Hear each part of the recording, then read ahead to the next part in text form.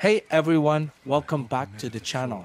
Today, we're diving into some exciting news about a game that's been on everyone's radar since it first blew our minds back in 2020 Ghost of Tsushima. Now, if you're anything like me, you were absolutely captivated by the original game's stunning visuals, epic samurai battles, and the incredible story of Jin Sakai. But today, we're not just reminiscing about the past, we're looking ahead to the future, specifically Ghost of Tsushima 2 and why this sequel might be taking things in a whole new direction. So let's talk about what made Ghost of Tsushima so special in the first place. Sure, it borrowed elements from other games like the open world exploration we see in Assassin's Creed or the combat style reminiscent of the Batman Arkham series. But what really set it apart was how Sucker Punch took these familiar mechanics and polished them to near perfection. It was like they took the best parts of all these games we love and crafted them into something that felt fresh and, more importantly, incredibly satisfying to play. But here's the thing, while Ghost of Tsushima was undoubtedly a hit, it wasn't exactly groundbreaking in terms of gameplay innovation, and that's where the sequel comes in.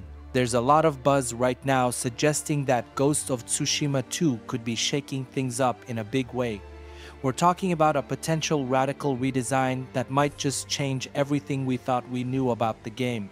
One of the most talked about changes is the possibility of a more complex stealth system. If you played the first game, you know that stealth was pretty straightforward sneak up on an enemy, press the kill button and boom, you're done. Effective yes, but not exactly deep.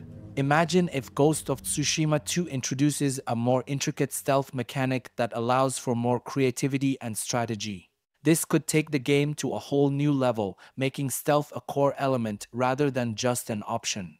Another area where we might see some big changes is in the RPG elements. The first game had some RPG features like upgrading your gear and unlocking abilities, but it was pretty basic.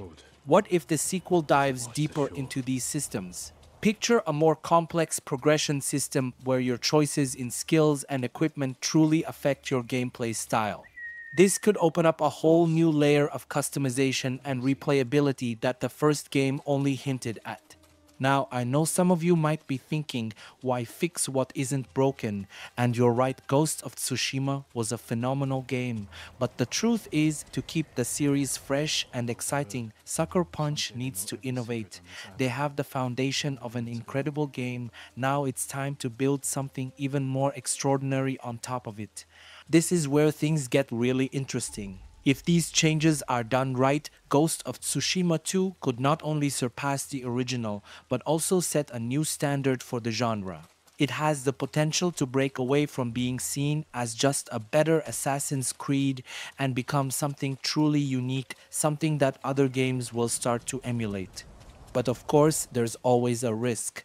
With any major redesign, there's a chance that it could alienate fans who loved the original formula. It's a fine line between innovation and losing what made the first game special. So will Ghost of Tsushima 2 be a game changer or a misstep? Only time will tell, but one thing's for sure, we're all going to be keeping a close eye on this one. Alright, folks, that's all for today. What do you think about the potential changes coming to Ghost of Tsushima 2?